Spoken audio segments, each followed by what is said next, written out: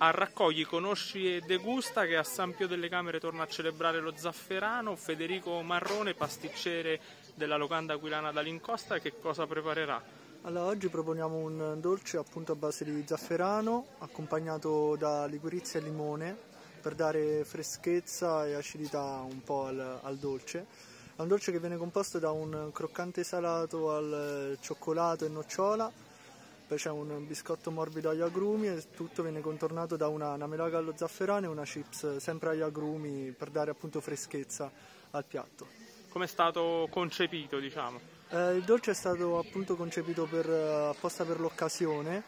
Eh, non volevamo fare un classico, magari quello che poteva essere per quanto buono un tiramisù allo zafferano, ma volevamo eh, cercare di mettere un po' più del nostro all'interno, accompagnandolo appunto con una nota acida e fresca come poteva essere quella della liquirizia. Sarà poi proposto nel menù del ristorante o si ferma ad eh, oggi? Eh, no, no, questa qua è una cosa che vogliamo continuare anche perché lo zafferano è simbolo della nostra città, della nostra cultura, quindi vogliamo continuare a metterlo magari anche nel menù. Ecco.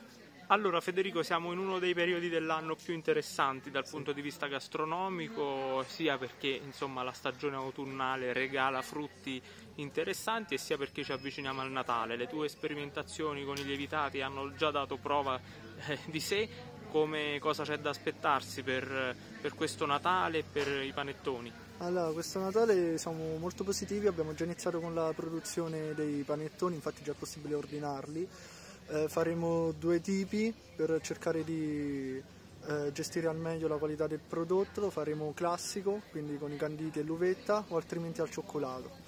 Eh, questi sono appunto i tipi di che faremo e la produzione appunto è già iniziata. Ecco, la ristorazione ha avuto, insomma, ha, ha, attraversato il deserto negli sì. ultimi due anni, adesso sembra esserne uscita che, che, riscontri avete nella locanda? Avete ripreso a pieno ritmo? L'estate è andata bene? Quale, quali, cosa è cambiato rispetto a prima? Allora, fortunatamente non ci possiamo lamentare. L'estate siamo ripartiti molto bene, c'è una buona mole di lavoro. Anche in questo periodo che normalmente è un po' più morto, diciamo, si lavora, devo dire, abbastanza bene, quindi speriamo di continuare così e che non ci siano nuove chiusure, insomma. Grazie. Grazie a voi.